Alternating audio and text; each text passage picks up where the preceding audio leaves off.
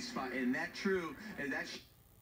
When he's second on the team in the home runs, when he has 14 already, and he's predominantly hitting at the AL in the eighth spot, and that true, and that when he's second on the team in the home runs, when he has 14 already, and he's predominantly hitting at the AL in the eighth spot.